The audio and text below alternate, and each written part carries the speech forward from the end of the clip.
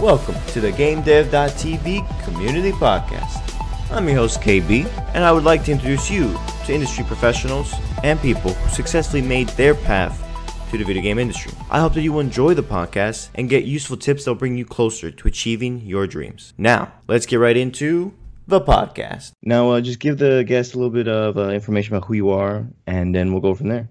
Sure. So, um, my name is Erwin. I'm one of the founders. I was working in retail uh, myself about 10, 12 years ago, and I experienced myself how difficult it is to communicate because people that were colleagues back then uh, didn't have like a corporate phone or a corporate email address. So we used a lot of paper and bulletin boards and text messages to communicate. And I thought, well, much easier if we bring that online in an app, and that's Speakap. Mm-hmm. No, 100%. Yeah, people are horrible communicating. No matter what you have, you just got to make it simple and easy, like what you did, and then people can communicate. So now, back in the day when you were like young, you say it's in your blood. Did you always like think of like business ideas? Your parents were always like, "You're gonna do this, this or that." Like, how was that like your childhood? I was, well, when I was 12 or 13 years old, I already like found pet projects to make money on school, and Wow. I don't know. Back in the days, I'm not sure about you, but like um, like creating like DVDs or CD-ROMs, like by downloading them from the new servers and then creating them for all your classmates, and then earn Oh uh, my a couple, gosh, yeah. those type of things. Um, so yeah, it was always in my blood to to yeah do something. Um, yeah, definitely. Mm-hmm. Yeah. So those things did they like make you tons of money when you were younger? Like, did you? What motivated you to do that? Like, was it the money or just the passion for it? I think the latter. It's like being busy and uh, like Mhm. creating something from nothing, even how small it can be. Um, that gave me so much energy. So, um, and then of course, as a result, the money is definitely very pleasant. So Oh yeah. when I was 12 or 13 years old, I had like like all the stuff that you can imagine as a young kid. So, yeah. Hey, that's awesome. So now, when you were in high school and, and then going to, did you go to college? Yeah. Well, in, I'm from Europe, so I grew up in Amsterdam. I went to university there, um, and only two years ago I moved to New York. Okay. So what was it like in Europe? In uh, where you say Amsterdam, right? Yeah. How was your uh, how was growing up there? Was it nice? Was it you miss it? Um, well, that's multiple questions. It it was very nice. Um, school was always very easy for me, so I Mm. always had to do things next to it, either like sports or hobbies or like doing some entrepreneurial stuff. Um, I do miss it because all my friends and family live there. But on the other side, I really enjoy New York City, so it's an amazing city, as you know. Yes, I, yeah. It's it's amazing. Actually, I'm gonna go there at the end of this year to uh to just celebrate. I guess the end of the year, end of 2020. It's been a crazy year.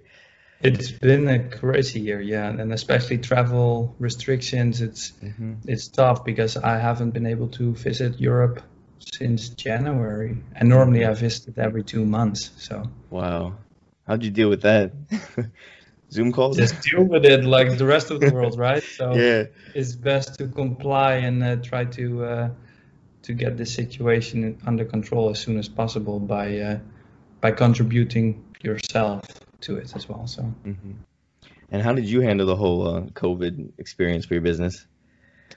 For the business, it was pretty good because, as you can imagine, especially now, businesses really need to communicate with their staff, and that's typically very difficult when it is a frontline employee, right? So we've seen an uptake in a lot of, yeah, new business and clients expanding or implementing much faster than than before. On the other side of the spectrum, a big portion of our business is coming from retail and hospitality and, Mm. and aviation as well. They have been hit very, very hard, Oh obviously, yeah. and, and and it's very difficult to to keep tr- get traction in those industries for us. So hmm Okay. Now let's get down to what is exactly the business? Like you started it when? How long? About ten years ago, Ten years ago. And then how? Like when you started it, what was the idea? The same idea you have now, and just expanded on it, or was it did it change over time? um, it's it's always been the same category. So it started in supermarket in retail. I had a part-time job there. Experienced how difficult it is to communicate with all the bulletin boards and phone lists and everything. Uh, decided to make that easier by technology, mm-hmm. and that is it's still that today. So we still, uh, and of course that technology evolved, like more with apps and like more with video posted mm-hmm. 10 years ago, et cetera, et cetera. But in, in essence, it's the same. We, we solved that challenge to, to help retailers or manufacturers or hotels to, to communicate better with their frontline uh, employees. Mm-hmm. And were we working at what retail store was it? Or was it multiple? Probably never heard about it. It's a it's a company like a supermarket called Plus, mm. P L U S Plus. Um, it's it has about twenty thousand employees in the Netherlands, mm. but yeah, it's a it's a fairly small uh, company. Mm-hmm. And so then you said you worked there for 10, 12 years. Did you learn anything from that experience that like helped you build your business? I've learned a lot of things. Um, I was a frontline worker myself, a manager. Um, can be as basic as leading a team to dealing with, like, I don't know, um, like everything that is in, in, in the retail operations, right? Selling products, helping customers, uh, driving customer experience in the end, um, leading your part timers and have them being productive.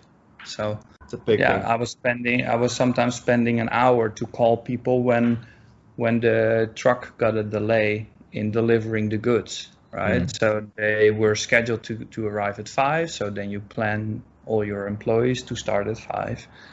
But then the truck got a delay for whatever reason, and you want to start like at seven. How are you going to reach out 40 part timers? You have to call them or send them text messages and stuff. So, yeah, those type of experiences still I still bring uh, with mm-hmm. me. Now, for people who haven't started their own business, what's like the misconception between like how hard is it to start a business and how easy it is it like was it just easy to be like hey i have this idea i'm gonna start building it i know the whole process is hard but like the idea of just starting something is it easier than most people think um well what i think like when we started we felt the pain in practice like working in retail, experiencing a, a, pain, a challenge ourselves, and, and then finding a solution for it. I think that situation and then like seeing the opportunity and jump into it was pretty easy. However, it would be, I think, like very difficult if you would be sitting in a room thinking of, I, I want to have the next best idea, right? So yeah. I'm think about uh, I want to do something entrepreneurial, I want to have a startup, I'm just going to think about doing something. I think that's much more difficult. Back to my story, once we found, uh, when we experienced a challenge and we, we decided on a solution, then you just start very small with it. It was first almost more like a pet project, but then more and more retailers saw the opportunity. They wanted to buy the solution and the products that we offered, and that yeah, that really enabled our growth. Then mm-hmm. investors came. Investors saw the opportunity, started investing money in the company. We can hire more people, we can grow faster, and then step by step and step. If I would ask my 10 year younger self now and what I'm currently doing, I wouldn't have a clue what I'm doing now. And so, yeah, it's like step by step you uh, you hope to be on the good path and mm-hmm. yeah, guide your decisions by data, but also gut feeling. No, yeah, that's that's true what you said though, like step by step, because you can have this idea. It could be for anything, entrepreneur, creative, anything, and you'll think you have to have it right away. But like you said, step by step, you do it slowly, and you'll figure it out over time. So if you think of trying to do everything all at once, you're probably like crash and burn. You'll be like, I don't know what I need to do lawyers. I don't know what I need to invest. I don't know who I need to hire. But then you're like, take it slowly, build it up. When I need it, I'll bring it in, and then I'll just handle it. And then eventually you'll get the business like you have today. But yeah, I feel like if you everybody tries to think of that idea and then try to like make their business plan, like, oh, I got all of it right now, it just doesn't work out. Yeah, and I think it, I see it also as a journey. So Mm-hmm. The, it's very cliche maybe, but like it's a journey from starting with the two of us and we now at 100 people. You cannot do that overnight. No. You have to do that gradually, or you can do it overnight, like by I don't know, raising 50 or 100 million, hire 100 people, and then hope in one or two years the return will come. But that's Hope. that's like, like not not the obvious. In our way, it was much more gradual journey, and it taught me so many things and experiences, and yeah, that's been great. So. Mhm. And you're saying you were 10 to 12 years in uh, the realty. So what was your plan? Was it like you were just working to save up money or were you working to fund the business? Yeah, at first, when it was a pet project, uh, the other founder, Patrick, and myself, we both like put in some of our savings hmm to hire uh, a company to develop the first version, hmm and then we started selling that, and that was basically like paying for our vacations every year. Yeah, essentially, yeah. And then when we saw that there were more and more customers uh, joining, one of the customers introduced us to an investor. With the investor, we raised quite significant amount of money, of course, in different tr- uh, tranches. Um, and we were able to really hire people ourselves. But then you see that your costs like go up and up and up, and then of course your revenues as well. But there was there was a pivotal moment, uh, like when that investor joined, we both decided to stop our jobs next to it. Mm, that makes sense. And be- and before it was more like a pet project for a couple hours a week or visiting some retailers, showing the product you have. They they got excited, and, Mhm. and but not a full time uh, investment from our side. Mhm. And then you were just working at retail, right? No school, no nothing, just a just a job. That was yeah, it was well, it was retail, uh, part-time retail job next to Mhm. my university study. So maybe Okay, in. Europe it's a bit different. So um, you have the primary school, secondary school, then you have high school or university. hmm Yeah, in that area, like from 16 years till 22, 23, Yeah. you're like either high school or university. Uh, for an X amount of time a week, but then next to it you can have a part-time job. So this was like a part-time job next to university study. So you made this business while also in university? Yeah, Okay. And then you finished university while working on the business too? Like you didn't drop Yeah. out? All right, cool. correct. And then, uh, and you were going to university for business? Sorry. You were going to university for business? Oh yeah, so I did business administration, um, bachelor, and I did a master's of finance, and I graduated like on track within four years. Um, not cum laude, but It's all good. I mean, the rest is history. exactly. no. but that's bring like like the the- fact that I I like numbers and I have a feeling for numbers. I, I also like I have a lot of benefits from it every day now that I'm building this business because in the end it's also about numbers, right? You make costs and those costs need to attribute to your revenue or like those those those numbers and those metrics and KPIs need to work because else you cannot scale your business or you scale on failure. But that's not what we want to do. So. I agree. Now, a lot of the stuff you learned, did you use it all, or is it was it like really beneficial to go, or do you feel like you could have done it without it? Um, like, uh, all honesty, like most books and the materials that are in those books, I don't apply in my day day to day work. But I, I see it more as an experience that university like creates also values um, Mhm. and, and and and some like intellectual and analytical thinking No, it's true. that is something that I definitely bring with me every day. Uh, so, would I be able to do it without? Maybe, maybe not, but who knows, right? Yeah, who knows? No, because that's that's true with some people nowadays. It's more like it's an investment. I don't know how it is in uh, Europe, but here it's like tons and tons of money. So most people don't know if it's the right decision to make, especially when they do their own business. Like some people say, instead of taking that money to go to school, you should take that money to start your own business, stuff like that. But uh, but yeah, and then I wanted to get into the the mindset you had when you were in school. Was it just like you wanted to get good grades, you wanted to do your own thing, or were you kind of just like just going to school, doing your own thing, chilling? Yeah, it was always easy on me. Um, it was not very difficult. Um, easy student in that way, but I did value it. Like I really wanted to have that paper. Yeah, But, but, um, like of course, like uh, getting your uh, certificate or diploma or however you call it. I think that's yeah, that's in the end what you why you do it, right? So, Mm-hmm. do I ever like had to show that paper to anyone? No. yeah. Right?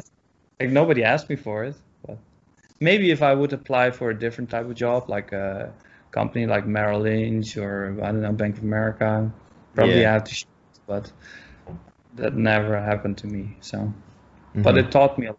No, I agree. So, like the way that you're putting it, I feel like the best way to take college or any type of learning experience is to go there to really get the most out of it, not just to like do check marks and get all A's, but to like actually learn a material, actually interact with people. Another great thing I've heard is you just meet a lot of people in this institution because you'll never know where they're going to go and they might help you wherever you need to be. Like for instance, how has it networking been for you? Like, have you networked a lot to make it where you are today? Yeah, so well, where I'm from in the Netherlands, it's smaller than probably one of the smallest states in the US. Wow. So there's definitely about 10 or 15 universities, I believe, maybe more. So you quickly get uh, to build up a network of people that, that like spread out of the country quickly. Mm-hmm. And that's been very beneficial. And of course, over time in my professional career, building Speakap did like so much more network build up there. But I also have the experience to sight unseen move to New York Mm. without network and Wow. build something from scratch, right? And that's been two years ago since I moved. It's quite a challenge, but then in the end, like, it's also a mindset how like I, I'm very outgoing, so I wanted to go to events. I made myself a promise the first year every week I will visit, one, try to meet people, build up a network. Maybe it doesn't immediately return into something.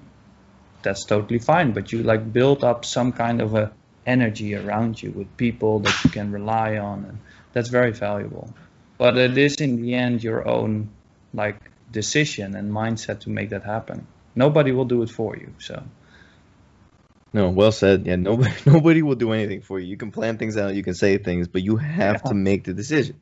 And networking isn't easy for everyone. I mean, I've learned that it's actually it's more people are more able to they want to engage. They want to get themselves out there. But the how would you tell people who are afraid to go to those events or or not as outgoing as you are? maybe start with events that um, are not too large maybe like smaller meetups where 10 or 15 or 20 people in a closed setting meet with each other instead of going to an event with thousands or hundreds of people right so to be in all fr- uh, in all honesty i also don't really like to like proactively step onto somebody and start a conversation and like i don't know it's like I excel a bit better in the, the smaller audiences, but then really build a connection. So if you're afraid for that, maybe apply the same approach and start small, and then Mm-hmm. gradually over time it brings you more confidence. And now I've, I'm speaking on like events with four or five hundred people in front of me, but probably because years and years back I started doing this gradually and, and earning that confidence. Mm-hmm. Wait, so you, you meant like you speak in front of people and give like Yeah. nice. How how's that like? Yeah, it's, it's nice. Like always, some kind of an adrenaline and hmm. like pressure before you start, and then the first 10, 20 seconds is awkward for yourself. Probably nobody will notice, and then you get into it, and then it Mhm. goes. Well, in my case, it goes smoothly. So, wow. And then how do you prepare for those events? uh, well, you have to, of course, create like materials that you want to present. Think about the um, talking points. Work with, like in my case, with the marketing team to develop very nice, appealing content that it looks nice and brings over the story, and try to not make it too big. I always try to share three lessons, and when in my case, it's of course also to promote our solutions and Speakap as a company. Don't be too salesy.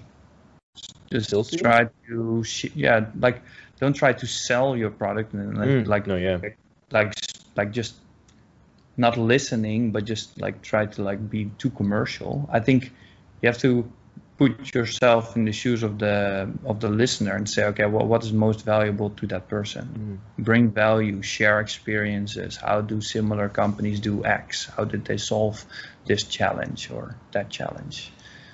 Speak out of your experience and not like, oh, my product does this and uh, can help with that. Like X, that, that doesn't work. So it doesn't really.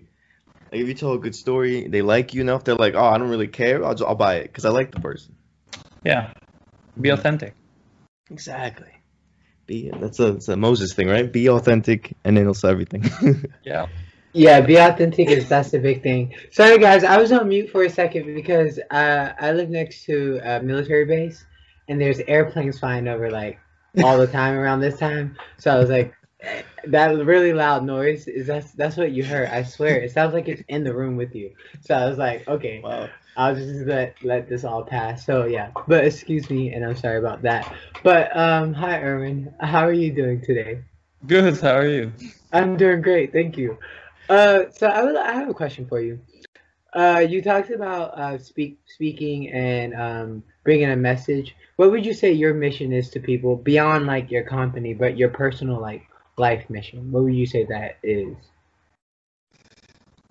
Oh, that's a that's a nice opening question. right? well, I've been listening to you. I'm buying time now. That, know, that right? I'm buying time now to think. Um, That's funny. I, th- I think uh, the first thing that comes to mind is share the experiences that I, I had um, in order for people to learn from, not because I'm a know it all, but just like to maybe prevent somebody from making the same mistakes that I have been making in the last 10, 12 years. Yes, that that that's uh, that's very helpful, and it makes a, a lot of sense because it's just like reading a book. You can learn the lessons that someone has put into a book, and they, that could help you with future things you may encounter, and your mindset and things like that. So I really appreciate that. Yeah, sure, but it's a nice opening question. I had to buy some time for myself. So. had to think. what, what, gets you, what, what gets you up in the morning? You wake up every day like ready to get after it, or? Oh no, man! The the mornings are tough sometimes. are you like a night owl, or you just just mornings are tough? No, it's more like I like sleeping. That's common 2020. answer than you expect, but no, like I'm um, I'm not per se a night owl, um, but I also don't like early mornings. Like I do quite some exercising, so four, five, six times a week. That also has an impact on your body, and you need to recover and take rest. I think that's important. So I try to sleep at least seven and a half to eight hours every night. Seven to eight hours. That's not bad. It's normal. Yeah. Well, I think yeah, if your body's getting a consistent amount of sleep, that's pretty like seven to eight hours consistently. That's that's good. Yeah. I try to sleep. Well, if I if I take less than six or five hours, I, I cannot I cannot perform. Yeah, it def- yeah it definitely depends on the person too because I I think I'm around the five to six hours. But recently, my body has been playing this game with me where I wake up exactly around like 2.30 to 2.57 in the morning every time. Dang. And I'm like, okay, well, this is quote by Rumi that says, you know, the the morning has something to say to you. So if you wake up and if you're awakened in the middle of the night, stay up. The universe is trying to tell you its secrets. So if you just randomly wake up, and so I wake up and I'm just like, what secrets do you have for me? that, that's what makes me going. I like play a game with myself. That's what gets oh, me out of funny. bed. that at seven thirty in the morning, and that's early enough for me. So. Yes. Oh, seven thirty is early. Yeah. I thought you may wake up at like nine or ten. Oh no, no. Yeah, seven thirty is early. Some people yeah. still like are still sleeping. Yeah. I tell people I wake up at six a.m. They're like, "You're crazy." I wake up at nine. I'm like, Okay, that's still kind of early. Like I feel like ten is when you finally reach the point when it's like, all right, you you woke up a little too late. I'm like, all right, I gotta get stuff done. But but yeah. no, that's cool. And then when time to go to bed? Like 10, 11? Yeah, between eleven and twelve, I think. Mm-hmm. Yeah, so that makes up like uh, between eleven and 12, 7.30 waking up. well, 7 8 hours sleep. So You have what like is a your- night. Oh, Go ahead. Do you have like a night routine. You like, we just go to sleep.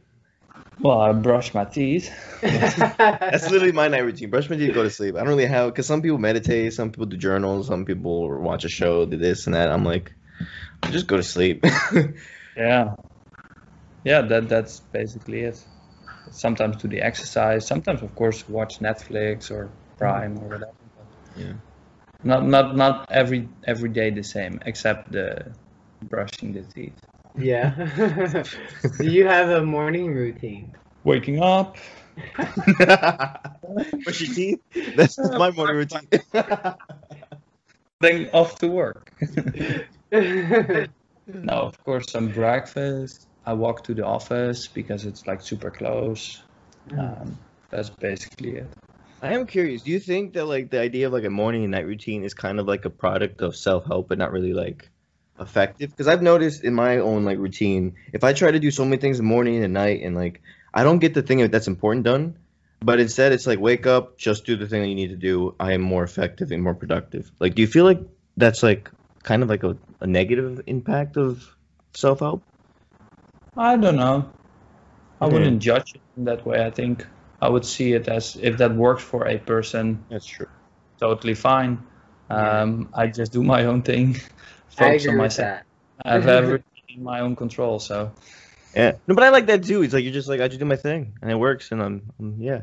Yeah. Because I think people judge themselves too much too. Like I'm gonna be like this person, I'm like that person. It's like just do your thing, just do it. yeah, you have to like you get you have to be your own like uh, unique individual because it only works for you. The way you express yourself and how you do things can work for what you need done and what like you want to meet and gather out of life. And some people have different dreams and aspirations than you, so they have different ways they want to apply themselves. So Yeah. I would agree with him in that response that it has to just fit you. Like no, I love we- the response. Yeah. yeah, right, that's important. Um, so, what advice do you have to someone growing up who wants to like run their own business and be their own boss? And what's the question? What advi- yeah, it is a big one. what advice do you have someone for someone who wants to run their own business and be their own boss? Like, What what it is like, or like what advice would you have for them? Okay, Oh, this- what advice? Okay, Yeah. got it. I got it. Um, oh, that's a very broad question. Um, it's also in line with my previous answer, I think. Uh, control, like focus on the things that you control can control yourself. okay. There's always like external world that you have to adapt to, but keep things to yourself. Like, don't put reasoning or blame externally, but like own it mm-hmm. act responsible and i would say if you build your business and and or start your business try to base your decisions on data but don't forget gut feeling but it should only not not also also only be gut feeling or only data. So it's like it's a combination of seeing opportunities but also have some kind type type of proof that the that the gut feeling is also making sense and that like in the end there's a lot of people that start their businesses which is of course great um, but there's also a lot of businesses that start just for the sake of starting a business Mhm. and then after a year or one and a half year they develop the product and then they start thinking of okay now we are going to sell this product but then actually there is no market or nobody wants to pay for it right, Right. so instead of having those um, like major like like steps and try to validate it right on like if you have an idea try to pitch it to 10 or 15 people can be friends can be family but can also be person on the street like validate it before you do th- certain things I try like to be analytical in that way Mhm. I like the idea you said just go up to like 15 people, maybe on the street, and just tell them your idea. yeah Yeah, I love it. Just, yeah, you know, like I, and it's so- funny. Yeah, but also like a lot of people like your idea. They say, "Oh, this is a great idea, etc.," because they are afraid to say that it is a bad idea. But I would always ask the question, like, "But would you? Are you willing to pay for it?" Mm. If I if I if I if I show you now a contract, or like a, would you sign up for it? Would you want to pay for it? Because there's a lot of people that are very positive and exciting about your idea until the moment they have to get their wallet out and have to start paying for it. Right. Then when it's then time to it invest. Yeah. Money is always a symbol of commitment. Like people will talk about it as long as they they don't have to give some type of commitment and money being one of those. So it's Yeah. like you have to see like would you be committed to invest in the product or use the product or whatever service that may be rendered. So it is a good idea to have like a test market. I like that. Yeah, and, and if if you're willing to pay for it, what what is the amount that you would be willing to pay for it? hmm That's true. Is this like is this truly solving a pain for you, or is this just a nice to have? Right. Ooh, a little research and development. I feel like that that's what makes the uh, the business keep going because it's like the market is ever changing, and understanding like your niche market is important. So who you're predominantly selling to, and so now you have to understand your buyer because they're really your boss. You know, your consumer is really your boss. I, I appreciate that advice. I like that. As someone who's learning. Interesting segue segue also in a different um, advice even. Like think very thoroughly who your ideal buyer is, and don't be afraid to like really focus it to a small group. So and because if it's too big, you're like, I always say you can better be something very great for a small group than that you're like, like nothing for everyone. hmm To Yeah. really own that first vertical or that first type of buyer persona, and then out of a winning position, you can go to other segments instead of trying to go after every vertical or every type of buyer persona, but then you don't really address any of them. Be very Mhm. focused and Yeah. don't be afraid that, oh, but then my market becomes so small. Right. Like But at later on, least, it will expand. So right. It will. Yeah. That's a that's a really uh that's a really great point. So if I relate that back to my own experience, we started in retail, hmm in supermarkets. Our first products were only tailored on supermarkets. So that, that's where we became successful. So then we made it bigger to retail. When we started to get traction in retail, we saw like, oh, there are similarities also with hospitality. Let's now add that vertical as well.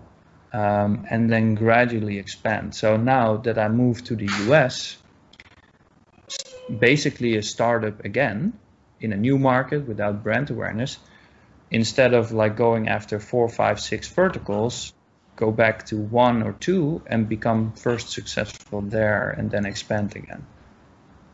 No, you really hit that on the head. That's that's really good because it's first of all you had the um the self-awareness to realize, hey, I'm restarting technically because now I've gone to New York and I got to do it like I did at the beginning. But that's the only way I can ensure that it's going to be successful in the end. Yeah, and and then even like bridging an ocean, for, moving from uh, Europe to N- New York, um, also requires a real open mind to go after this market because certain things in Europe work significantly different than here and the other way around. So hmm. if you would look back at like, okay, this is what I've done and what we made made us successful in Europe, so we're going to replicate that here in North America, might be might not be successful at all. You have to like listen to the market and ask those validation questions again, and then step by step you build out your network, and then you have a few early adapters, and those early adapters bring you to a larger group, and then like so it's basically for me it's starting all over again from scratch and that that's very like that gives me a lot of energy because i really like that phase much more than managing like uh, more like scale up company if you Mm. will Now, what is the day like? What your day to day like as a CEO? Is it is it a lot of work? Is it busy, busy, busy? Yeah, but I try to have like a good balance, Mhm. balance like the word, but spend time like i- your private life need to be in good balance and need to be in a good shape. Uh, you, your body, physically as well, mentally. Um, I think with that I can be very productive. But if I'm on work, I'm really at work. I don't get distracted by like text messages from friends and family. I just don't look at them unless there's an emergency, of course. But um, really, like in the moment, try to focus on the things that you're doing. Okay. How does my day look like? It's very different. Sometimes I'm speaking at events. The other day I'm speaking to my shareholders. The other day I'm working actively with somebody at sales and marketing team to go after this new client opportunity or develop a new sales presentation deck to outline your new messaging uh, tailored for the North American market. Um, sometimes I'm trying to have a call with a customer and make them even more successful with our product or understand more of the needs they might have. Mm-hmm. And how do you diverse. how do you organize all that? Do you ever feel like you burn out or there's too much to do, or you just have it all like figured out? I'm pretty structured. Mm-hmm. I also have some technology that really helps me uh, and supports me. I still also have like a little book where I write my tasks in, Mhm. and then I try to mark them off every day. Um, I've organized my email in a way that it is very like very easy for me to work on outstanding items and move away the ones that can be archived, etc. Uh, I don't have an inbox with uh, 50,000 unread messages. I always have an empty email inbox at the end of the day. But that works for me, not for everyone. That's totally Mhm. fine. This just works for me. Mm-hmm. But I like Yeah. about keeping it structured. Oh, you can go, Moses. I was gonna say I was just gonna piggyback on the uh the fact that I don't like a clutter ebo- uh inbox either. Like I don't know, it just also just gives me a sense of that, hey, I'm on top of this. If I can keep that a little organized, I can see what's actually happening. And then it spills over into all the other areas of my life. I'm always like, okay, let me keep this tidied up because I need to be able to see how things are moving, you know? Because if it's not, if it's too chaotic, you can't really see where it's going. But if it's a nice Yeah. balance, you can see it better. But, yeah, for and for some people it does work, and Yeah. that's totally fine. I just know what works that's for their me. lifestyle. Yeah. yeah. And what I was gonna say too about the having a structure like that, it's kind of like being disciplined. Is if you get everything organized right, you do everything you need to do, then you have the freedom to do whatever you want. So because you know, oh, I'm gonna get that done tomorrow, then today is done. I'm good to go. I can relax. I can hang whatever I want to do. It's this idea of like people think rules and all this stuff is actually like making your life less free, but actually, in fact, it's making your life more free. Do you feel that's the same way? Like because your structured day, you're free to do whatever you want. Well, in the end, I started this company to be my own boss, uh, right? So I decide my own agenda and calendar, but I act very responsible, right? So I want to. The bigger goal is to make this company a success and like exit it uh, for a good value one day. So that bigger goal drives me every day to to make the most out of it. But in that day, I try to work as structured as possible in order for me indeed to go home with without like having to worry like oh I still have to do those 15 or 16 tasks or emails and like yeah in the end you also need to like hire people and and, and have people join your team that that can take that operational burden from you right Mm. Cannot Yeah. do any like everything you need to also like hand off certain activities mm-hmm. sometimes that's difficult but it's very important to scale That's probably one of the hardest part, right? Building the whole like training system and having all the people do the things that you want them to do. yeah and it's especially also closing the loop so if you agree that a person should do certain activities then a of course they need to perform and deliver you also have to close that like yeah that feedback loop like but on the other side like as a manager or as a boss however you call it i see it like i always have an analogy with like if you treat your like people in your team as a, a plant, like a little plant. You can better like give it water and like um, uh, proteins to grow, right? Mhm. Instead of just crashing it down because you don't do this, or you don't do that, you don't do like. It's better to empower people in your team so that they can be their better self. So it's also like a management style. That's beautiful. I love that. No, it's it's true. As a leader, you need to um, understand that this is your vision, and they're just helping you build it. But at the end of the day, like nobody sees it the way you do. So just help empower them, help them grow, help them understand, and like you care about them, so that way they want to do the same for you. Exactly. Mm-hmm. And then how does the how do you develop a training system? Because I always feel like that's a that's a big thing to do, like training books, training manuals, training like systems. How do you do that? Well, we have a HR team in Amsterdam that Mhm. helps with that. Of course, you need some proper technology that can help you with that. Um, yeah, to, we always try to tie it back to our uh, corporate values. Mm-hmm. So if you have your like your mission and your vision and your corporate values outlined, and then try to add, have the initiatives that you do, including training, like like build on those values. Um, and then it's also based on discipline. Like um, in development, you de- you need different type of training than in sales or in marketing. And some training is generic, but most of them are based per discipline. Mm-hmm. Okay. We we do that partially ourselves, or we use external companies or people to help us with that. And then at the be- did you come up with these core values at the beginning of your business when it was just you and uh, was it Patrick? No, they, came a bit later. Hmm. So it was, um, I think, the first five or six years we didn't really do those um, those things.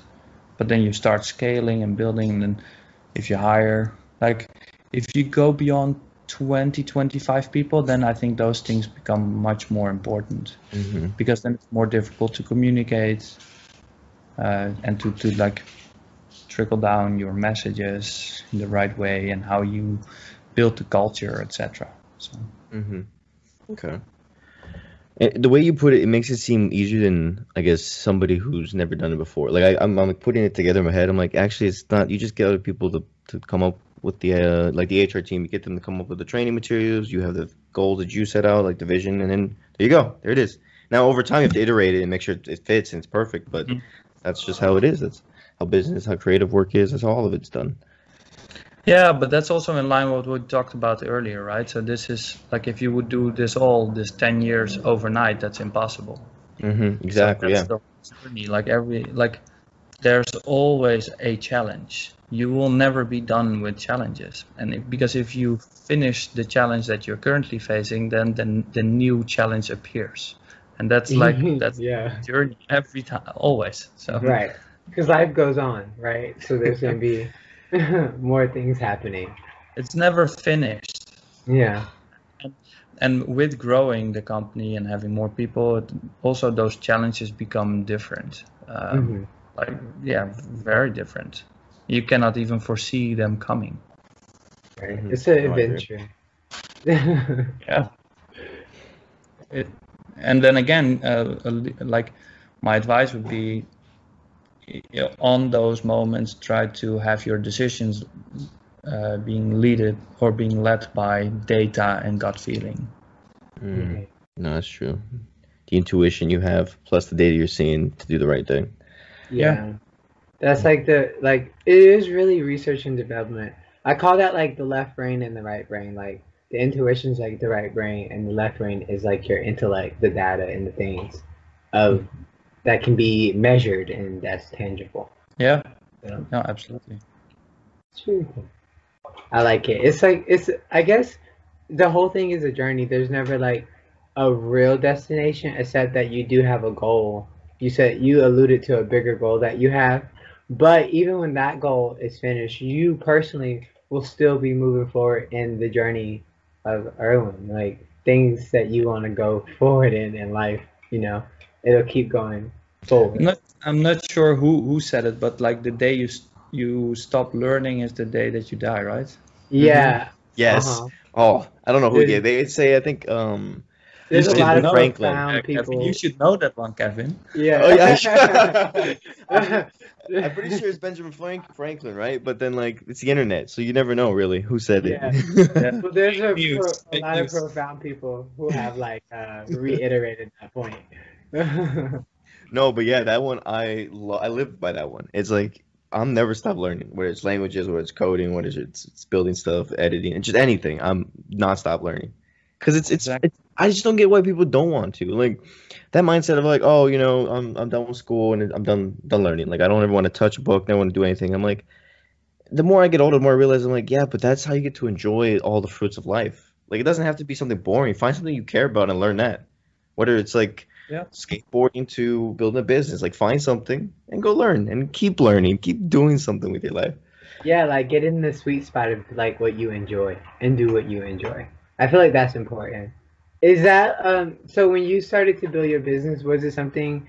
You said you want. I, I heard you say you wanted to be your own boss, but was the business you built something around what you enjoy?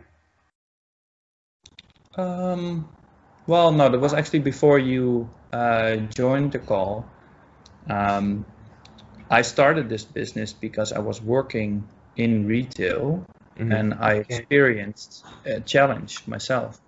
The challenge of communicating with employees that are very difficult to communicate with because they are not behind a computer all day. They don't have a company phone or a company email address.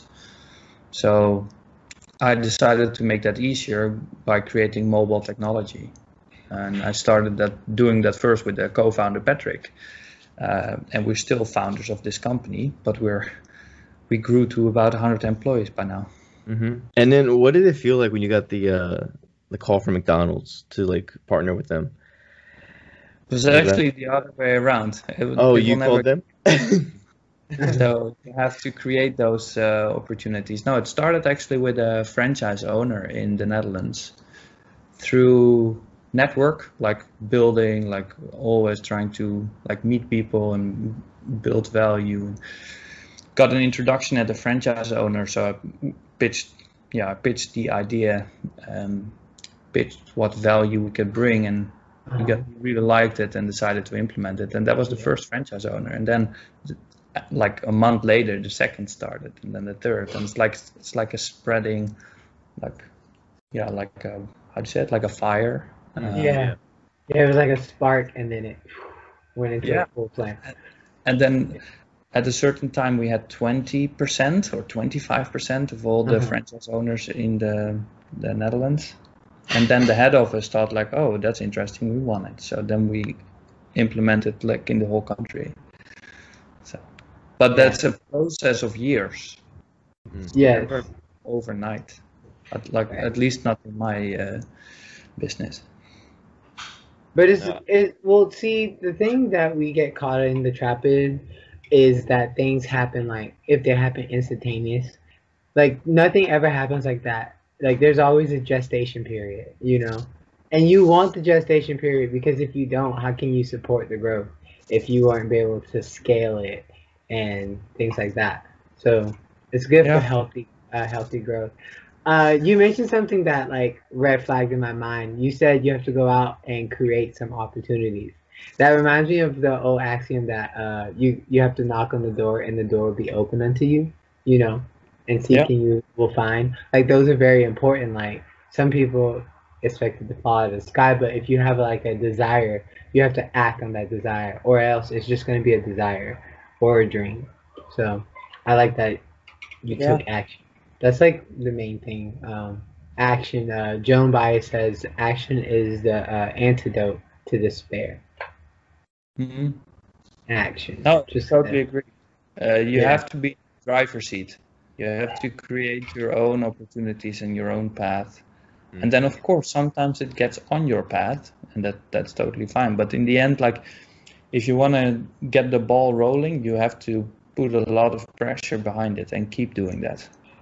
And then when it starts rolling, it's like a snowball effect. It'll get bigger and bigger and bigger. But it, it needs to start somewhere, and that is by effort and working diligently and structured and perseverance and to really make it work. You have to always believe also in what you do. and of course sometimes you have your good days and you have your bad days that's totally fine but like a red line needs to be in the right direction i think mm-hmm.